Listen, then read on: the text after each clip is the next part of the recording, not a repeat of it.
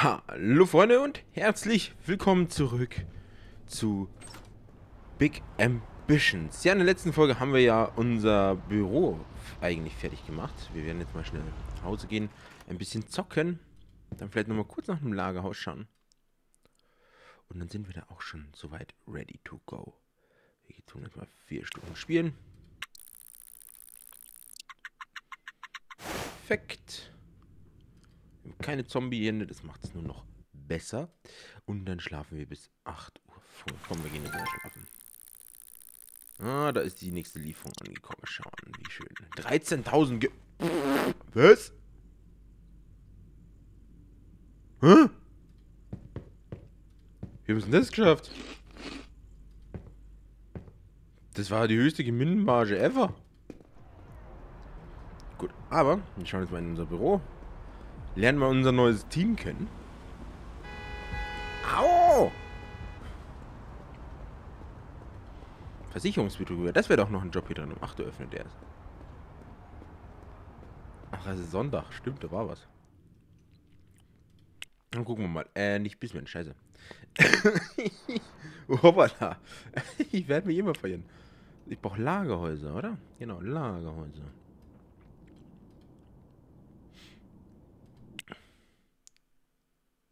Elektrische Geräte, Kaution. Nehme ich das direkt an der Hauptstraße oder nehme ich das hier in der Seitenstraße? Ist um einiges günstiger. Wie viel Quadratmeter hatten das? 160? Das hat um einiges mehr. Hm.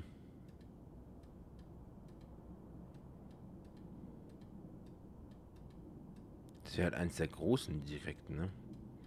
Wenn wir expandieren wollen, vielleicht gar nicht doof, einfach direkt ein großes zu nehmen. Ein bisschen öffnen. Wir mieten es. Legen es als Ziel fest dann müsste irgendwo ein Auto wieder stehen. Wo ist mein Auto? Warehouse Number One. Da steht mein Auto. Guck mal, da ist ja mein kleines, schönes Autolein. Könnte nicht sein, dass wir das gleich eventuell ins Lagerhaus bringen, damit wir ein Lagerhausfahrer nutzen können. Denn wir haben ja schon Lagerverwalter. Dann hat er auch was zu tun. Dann müssen wir nur noch an den Hafen mit den Kollegen dort vor Ort sprechen und dann sind wir langsam im Business. Oh Gott, oh Gott, oh Gott, oh Gott. Da ist unser Lagerhaus.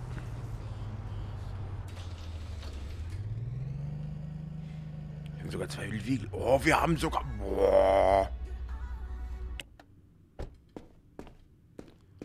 UNC Desert wurde Slot 1 zugewiesen. Perfekt.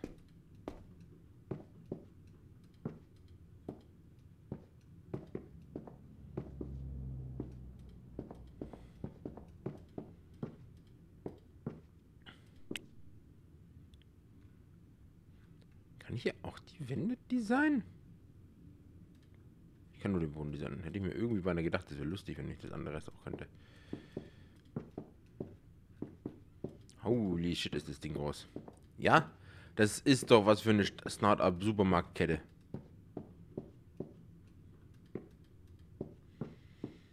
Dann müssen wir nur mal Kontakt.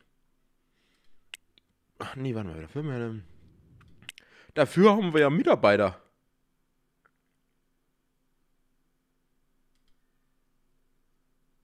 Heute krank gemeldet. Mhm. Beide arbeiten im Jules und Mo und haben sich beide heute krank gemeldet. Ist er kein Fahrer. Äh, lass mich mal hier bitte reingucken. Dann brauche ich bitte meinen Logistikmanager.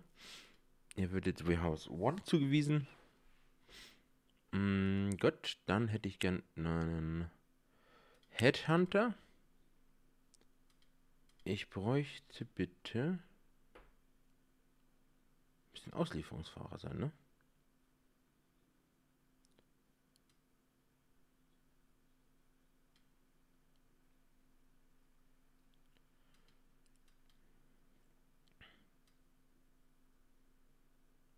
Na, der kriegt schon...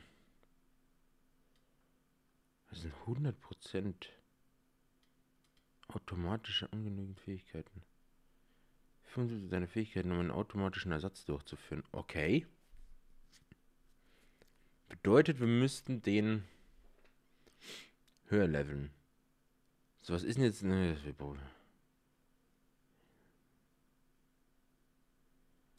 wir suchen irgendwas mit 50% so circa. Aktuelle Kandidaten haben noch keine Kandidaten. Okay. Cool, wir haben jetzt also ein Lager.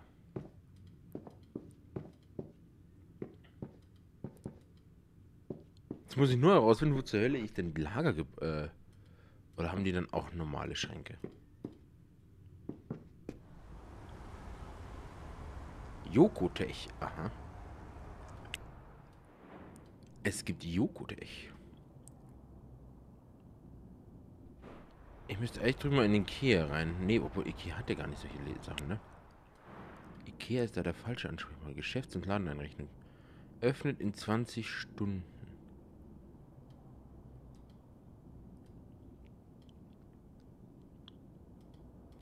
Gibt es eigentlich von den Läden echt nur zwei oder bin ich blind? Schaut aber fast so aus, ne?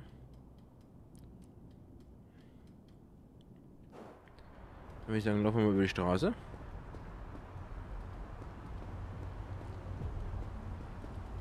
Warum hat denn das Lagerhaus denn ein Fragezeichen? Warte mal. Aha, Inventar. Warehouse Number One. Fahrer haben wir keinen. Das ist Main Vertriebslager.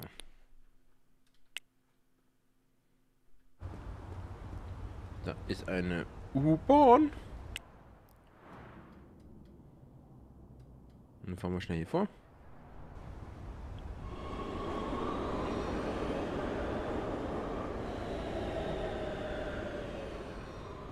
Gut.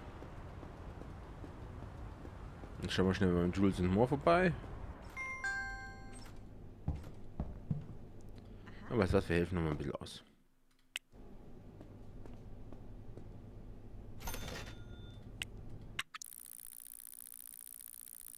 Bisschen unterstützen ist ja nicht schlecht.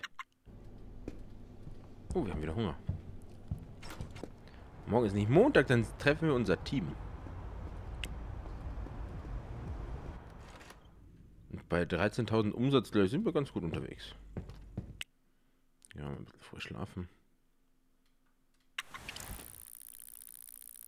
Tut uns auch gut. 11 Tage. Alter, warum steigt denn der Profit? Wir haben doch mehr Mitarbeiter.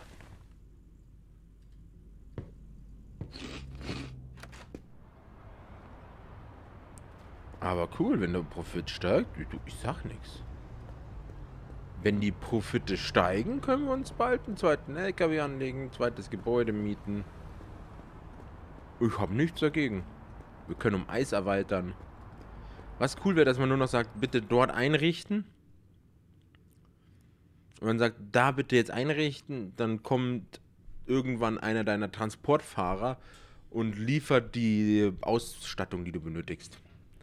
Das wäre noch eine Sache, die ich gleich mega, mega geil finden würde. Aber ist natürlich nicht unbedingt so einfach umzusetzen.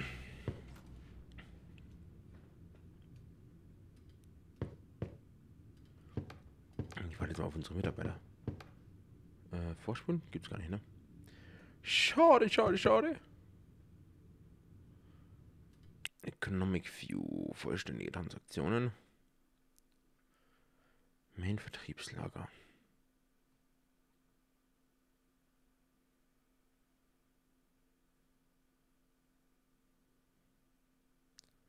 Okay, Raxe muss kommen, macht 11 Minus am Tag. Und das war halt gestern. Parkgebühren. Privatunterkunft, ja. Aber hier, Resch und Fresh hatte 6000. Das hat jetzt Jules und Moore überholt sogar. Respekt. Äh, keiner wende dich an Informationen an deine Bank. Das, mich, das müssen wir uns auf jeden Fall anschauen. Kapitalanlage wäre noch vielleicht eine Sache, die interessant sein könnte und die ich gerne probieren würde. Na komm, halbe Stunde noch, dann kommen sie. Ich gehe mal schnell aufs Klo. Ach, scheiße, ist abgesperrt. Wenn ich auf Employees gehe und Kandidaten, habe ich noch keine. Ah, die kriege ich wahrscheinlich jetzt danach, oder? Wenn ich sage, wir suchen danach. Wir brauchen eigentlich nur einen Fahrer, der die Woche alles aus, also alles auf Stand hält in den Gebieten. Am Wochenende kann er sich frei nehmen, weil am Wochenende sollten die Ressourcen eigentlich reichen. Gleich am Ende mit den Jules und Moore und dem ganzen Drum und Dran. Guten Morgen, Leute. Willkommen hier in der Raxamus Corp. Alles klar bei euch? Der programmiert. Hallo, wir sind hier kein Programmierstudio. Und zocken tun wir auch nicht. Ich sehe es auf euren Bildschirm. Wollt ihr mich verarschen? My Employees. Ich kann mich hier leider nicht irgendwo hinsetzen, ne? Brauchen wir kurz eine Bank. Ich mag wissen, ob wenn ich in einer Stunde... Warum gibt es denn jetzt hier keine Sitzbank? Ey! Ich suche mir ein Taxi. Ich hole es... Ich bin mir nicht sicher, ob ich dieselben Regale brauche, wie ich jetzt im Einladen immer finde. Aber mal. Das war das waren unnötige 2, 3 Euro. Das, Geschäft öffnet erst in... Oh.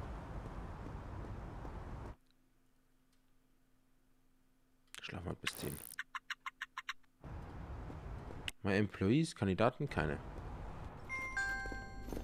Sucht denn die sehr geehrte Mitarbeiterin hier jetzt gerade schon? Headhunters 0 von 0. Du bist ein fucking Headhunter.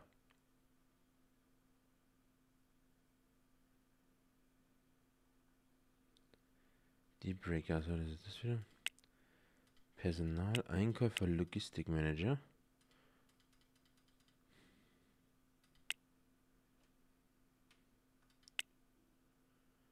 Ja, wir werden uns das Lager dann irgendwann kaufen.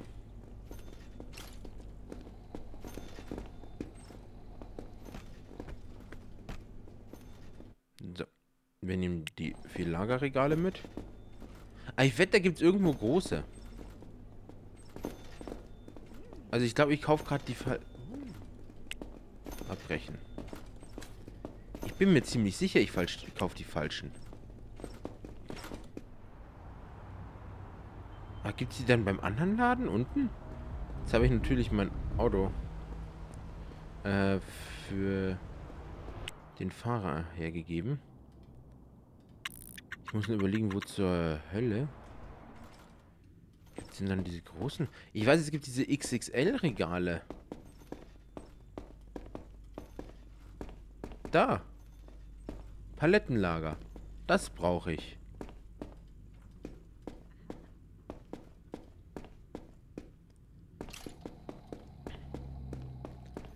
Ich brauche Palettenlager.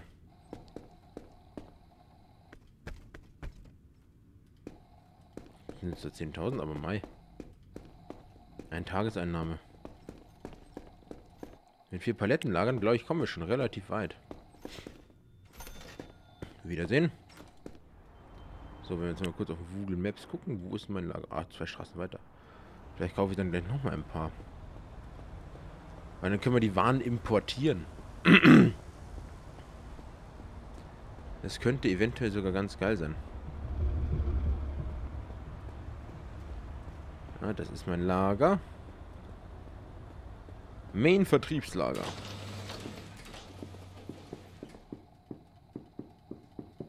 Wir bauen hinten gleich die Paletten auf.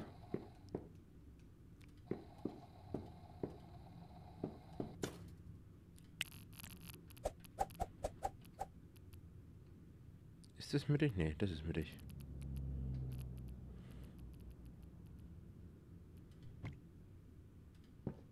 Lager verwalten.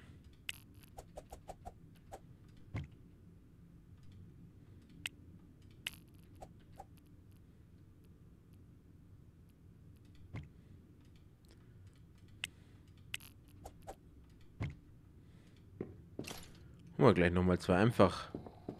Safe safe. Oh, ich habe ein Angebot bekommen. Super. Ich glaube, wir setzen dann Handhunter auch mal ins Training.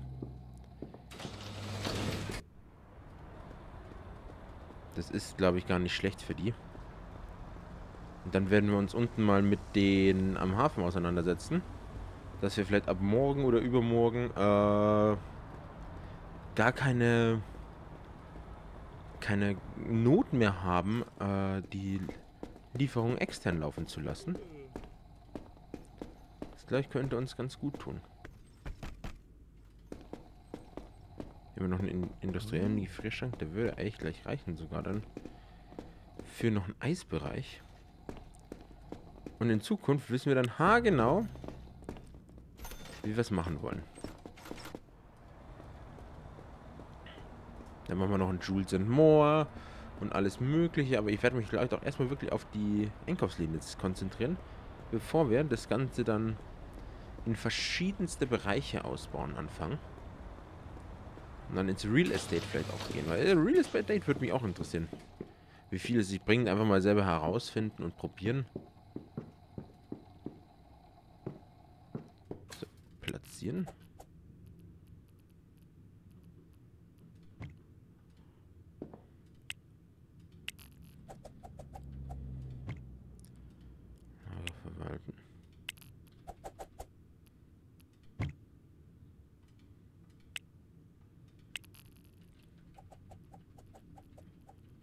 Ich würde immer genau die Breite von dem Palettenlager freilassen.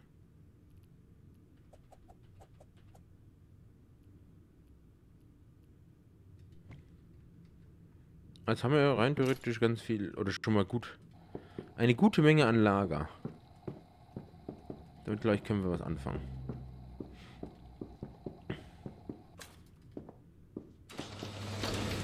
Was hatten die Headhunterin für uns gefunden in dem Fall? 36 Prozent. Anforderungen gar keine. Main Vertriebslager. Ist eingestellt. Fertig. So einfach geht es. Headhunter. Rekrutierung beenden. Wir sind gerade zufrieden. Logistik Manager. Achso, ich muss vielleicht nochmal Personalleiterin Mitarbeiter zuweisen. Wir haben das Main Vertriebslager jetzt erhalten. Äh, dann gehen wir ins Bisman. Fahrer. Inventar. Gut. Wenn ich jetzt hier aufs Lager gehe, Logistikmanager, jetzt kann ich Ziele hinzufügen.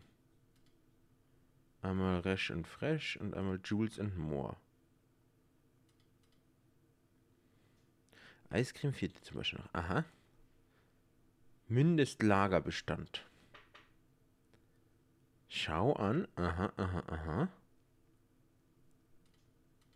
Mindestlagerbestand.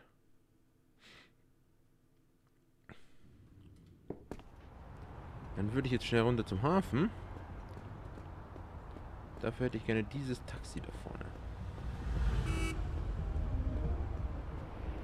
Und einmal zu einem der Hafen. Fangen wir hier an. Hier hinfahren.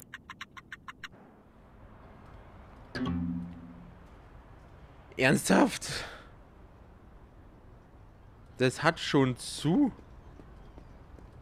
Pure Verarsche.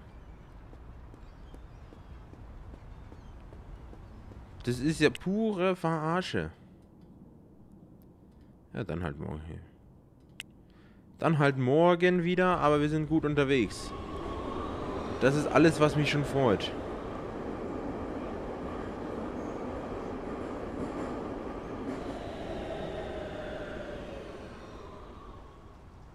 ich würde auch sagen, dass zum Beispiel Jules und Moore immer so 100, 200 von den günstigen, 100 vom teuren auf Lager haben sollte.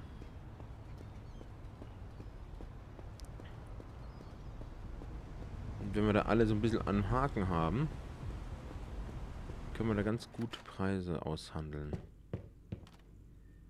Sagen wir noch ein bisschen? Ne, wir gehen straight ins Bett. So, um sieben raus. Das machen wir jetzt noch eine Nachricht von Mary Pott und Daniel Lesche erhalten. Angestellter. Eine Goldkrankenversicherung. Wollt ihr mir ernsthaft, wer damit jetzt kommen? Wie gebe ich denn, wie hieß der Dana und Mary? Wie gebe ich Mitarbeitern eine Goldkrankenversicherung. Das muss ich. Ihr seid im fucking Kundendienst bei Jules and More drin. Und ihr wollt ein friedliches Arbeitsumfeld, okay? Goldkrankenversicherung. Oh, vor mir steht, bei mir steht vor der Tür eine Katze, die will Aufmerksamkeit. Ich höre schon. Wir haben wieder gute Umsätze gemacht, ohne Frage. Aber what the fuck war das denn? Katze will sehr viel Aufmerksamkeit. Die maunzt mir gerade die Birnen zu. So, ähm, mit dir kann ich sprechen, ne? Da ja nämlich genau diese Palettenlager. Neue Partnerschaft. Jimmy Blaine, akzeptieren. Warte jetzt nicht, wünsche Ihnen einen schönen Tag. Gut, Dankeschön. Jetzt kann ich doch wahrscheinlich mit meinem Einkäufer reden. Jamie Blaine. Jeweils ausgewähltes Leid. Ach ja, jetzt kann ich hier.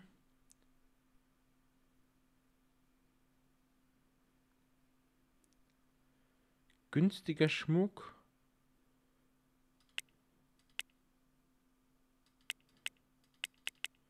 Jeweils 70. Aha, wo ist der teure Schmuck? Hast du den auch?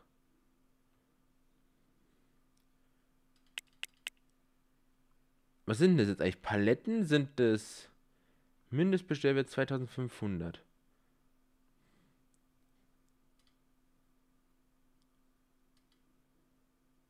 Ich bin gerade verwirrt. Da kriege ich Getränkedosen.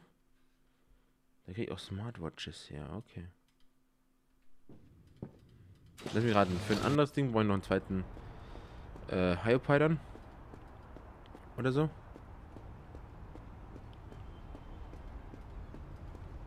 Den anderen schauen wir uns noch an und dann werden wir beim nächsten Mal das Lager einrichten. Ich werde mich mal wegen dieser komischen Goldversicherung da informieren, die es ja hier gibt. Schöner Hafen, schöner Hafen. Jetzt müsste man nur noch Fährmann werden können.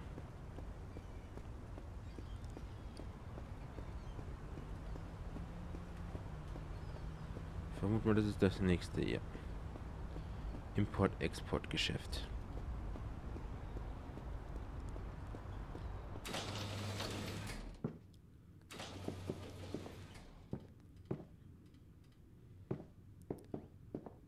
Den kannst du hinten.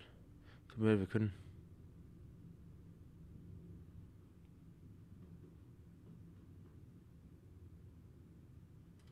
Oh. Brauche ein größeres Büro, wie es ausschaut.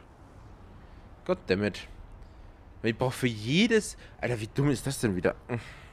Aber gut, Leute. Ich hoffe, es gefallen. Wenn ja, lasst einen Daumen nach oben da. Abonniert, wenn ihr nicht habt. Und wir hören uns beim nächsten Mal wieder. Also, bis dann. Ciao.